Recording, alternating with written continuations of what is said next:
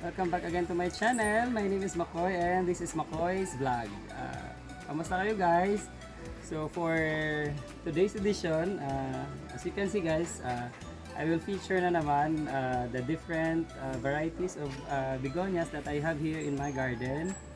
And uh, if I am not mistaken, I have like 16 or 17 varieties pero uh, I'm sorry to tell you guys hindi ko alam yung mga specific name nila so wala pa wala pa akong enough time na to do the research yung kung ano yung mga pangalan nila.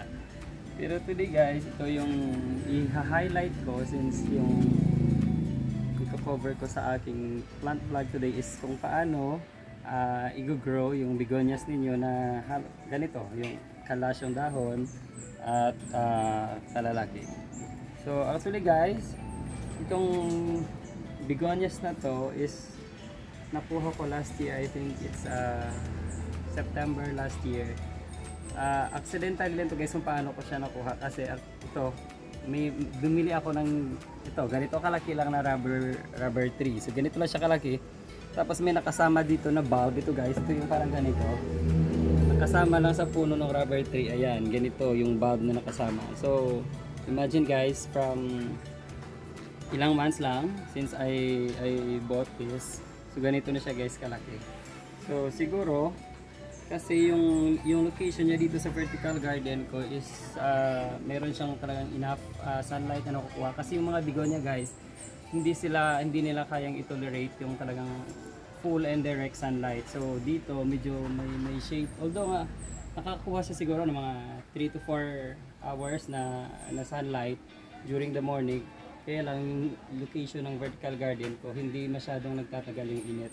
So siguro yun yung pinaka-reason kung uh, nag, uh, talagang nagla siya ng ganito kalalapad.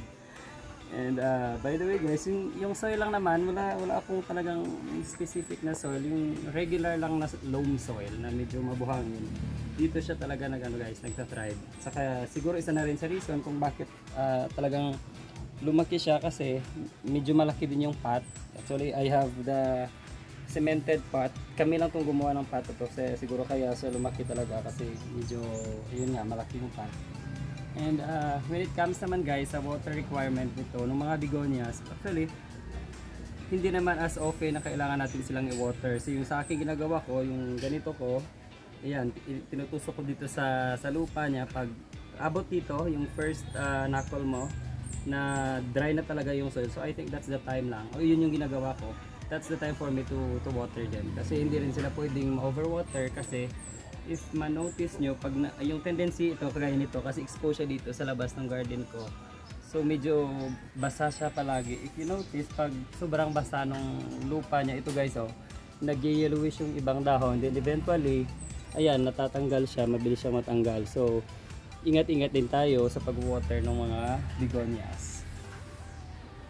Guys so ito ito guys lahat ng mga ano ng collection ko. I have here ito yung pinaka favorite ko. Actually kaya lang uh, ito medyo napeste. Ayan may mga butas-butas siya. So meron akong isang na propagate na nito pero hindi pa siguro mga tatlong dahon pala sa kamaliit so guys ayan sana mga magustuhan niyo yung mga different uh, varieties ko dyan ng mga begonias ito naman ito kakaiba din to guys oh, yung, yung dahon niya naman sobrang liliit. Yan. So medyo delicate din to eh. Muntik na rin itong mamatay buti na, na, na naagapan.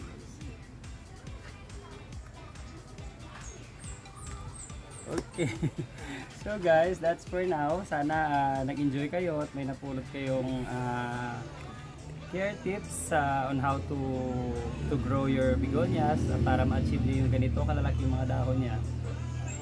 At uh, yun nga guys, sana sa may may napulot kayong uh, kahit pa paano mga information na pwede niyo i-apply sa mga sari-sarili niyo. So, yun, ito na muna sigurado, ah siguro, nabubulo na. And uh, yun, sana ingat kayo lagi at um, enjoy your day, enjoy your weekend. And I'll see you on my next vlog. Bye guys!